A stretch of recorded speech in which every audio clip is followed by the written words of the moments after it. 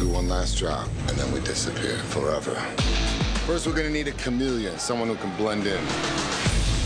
What else? Utilities and weapons, guys who ain't afraid to throw down. Most importantly, we're gonna need two precision drivers. You know we got that.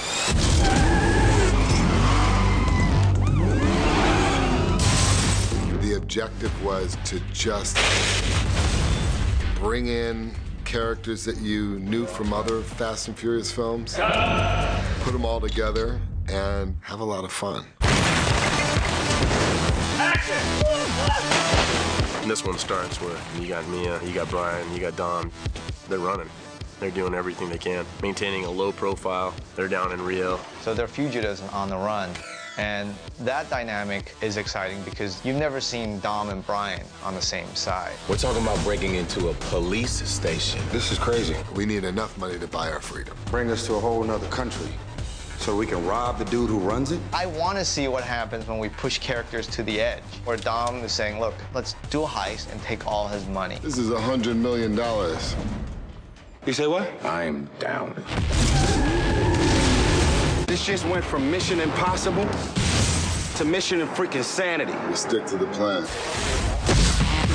When we talked about Dom and Brian now on the same side, right away I knew that the new antagonist was going to be one of my favorite characters. All right, listen up. The men we're after are professional runners.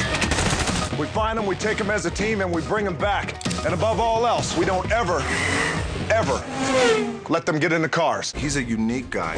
I find men and I hunt them down and I bring them in. Dead or alive, that's gonna be up to them. Hobbs is the leader of the elite task force for the DSS. When the FBI wants to find somebody, that's who they call.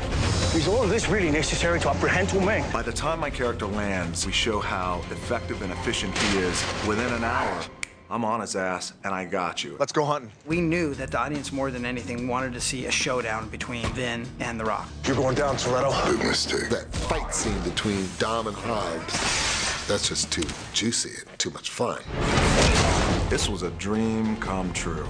The idea to take an iconic character, Dominic Toretto, go up against him, one on one. We strip everything away, and now we go after him, and we see what happens.